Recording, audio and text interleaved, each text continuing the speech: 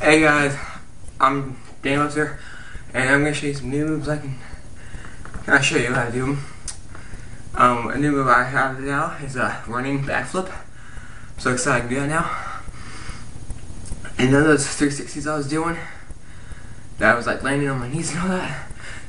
The front brandies were actually 180s. They were not 360s. Sorry for my confusion. If you're so excited, I could do one, but.